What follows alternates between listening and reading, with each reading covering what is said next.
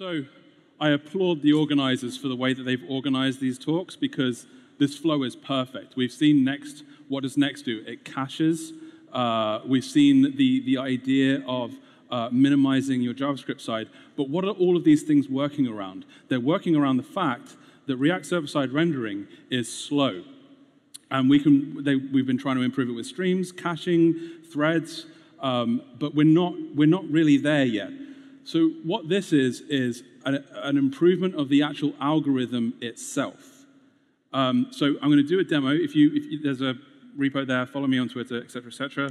Straight to the demo. Okay. Um, so this is a demo. Oh, Jesus. This is a demo of um, a, a, very, a very simplified React application. The core component is this stories component. It's loading Hacker News stories, uh, and it's, it's iterating through them and rendering them. Okay. So uh, if I just npm start real fast, uh, you can see that's this is the, the optimized server starting. And just to prove that it's actually doing something, uh, there's the HTML for it. OK, so I'm going to run a, a benchmark. It's using a tool called AutoCannon uh, which basically puts the server under pressure. It's similar to Apache Bench, but it's written in Node. Um, so this is the unoptimized server that's just using uh, uh, the, the, the, normal JSX, et cetera, et cetera, et cetera. Uh, and this next one is the optimized server. So if you look at the numbers here, uh, on the average request per second, we've got 228 versus 795. That's about a 330% improvement. If you look at the numbers on the latency, they're, they're lower as well. If you go onto that GitHub org, ESXJS, the ESX demo, you can look at these benchmarks in more detail. Um, okay, that's the demo. That's the fastest demo I've ever done. So, um, it is use case dependent, okay? And I'll, I'll, talk about how it works in a second, very briefly. Um, but in this particular case, it's 75% lower latency, 325% more requests per second, and 330% higher throughput. Now, why is it that server-side rendering is slow? Because the constraints of the server, by the way, I'm from Nearform. We specialize in Node and React. This is, and I'm a performance guy. So the, the, the reason it's slower is because when you are uh, using, using JavaScript as a server, um, you're actually hitting the same path a lot, okay? And if you have um, synchronous operations that take a, a, a while, com like computationally take a while to execute, uh, they start to do something called blocking the thread loop. And when you block, block the thread loop on the server side, requests pile up.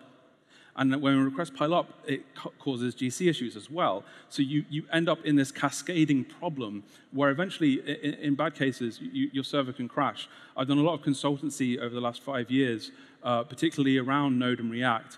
And in many, many times, the, the core problem is the server-side rendering, and they're seeing like one or two requests per second. Now, how does it work? Um, and we have a booth, uh, the Nearform booth. It's right by that cool uh, honeypot coffee stand.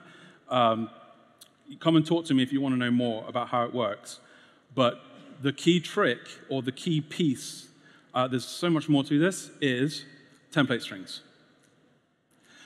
So if you look over at this code here, uh, it basically looks very, very similar to JSX, except there's a little tag template function in front of it called ESX.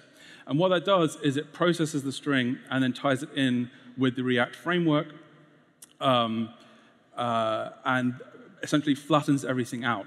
So the, the key thing is, is that uh, before React, we had template engines. And template engines are essentially just injecting variables into strings. Um, what React does, because it's built for the browser, it creates a huge object tree and then serializes that tree. That's very slow.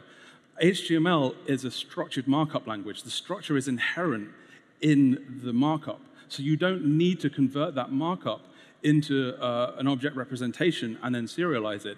A lot of it is already in serialized form. So the optimization of the algorithm is essentially, instead of creating a tree that goes down like this and then renders out, you're keeping it flat, like this.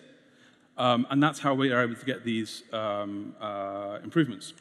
So you can, you can use ESX directly like this with template strings. There's another added benefit to this. It means that you can move away from transpilation in development, both on the browser and in Node. Why is that good? It speeds up your iteration cycles, makes it easier to think. You don't have uh, big cognitive gaps.